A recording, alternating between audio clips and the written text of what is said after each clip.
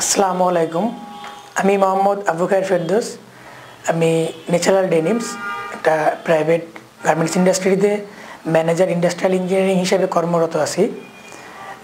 আমি হঠাৎ করেই ব্যাক পেনে আক্রান্ত হই এবং পেনটা এমন পর্যায়ে গেছিল যে আমি স্টেপ নিতে পারতাম না। সঠিকভাবে যে ফুড স্টেপ এটা নিতে পারছিলাম না।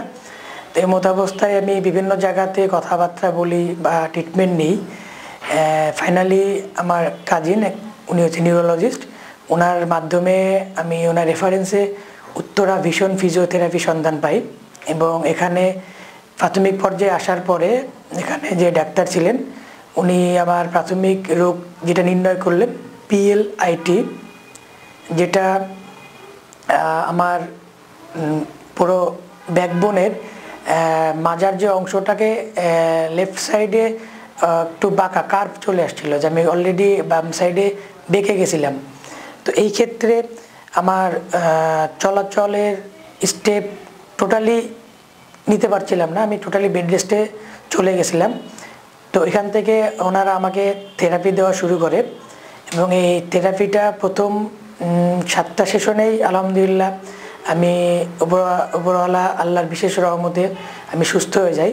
পরবর্তীতে আরও সাতটা সেশন নিয়েছিলাম, যাতে এই পেনটা আবার কাম না করে। তো এখানে ফিজিওথেরাপিস্ট উনি বেশ qualified physiotherapist mister Jasim Uddin উনি আমাকে অত্যন্ত আন্তরিকতার সাথে আমার চোদ্দোটা সেশন উনি টাইমলি কমপ্লিট করাইছে। এই জন্য আমি ওনার প্রতি কৃতজ্ঞ, ওনাকে ধন্যবাদ জানাই। ফাইনালি এখন উপরওয়ালার বিশেষ রহমতে আমি আলহামদুলিল্লাহ অনেক সুস্থ।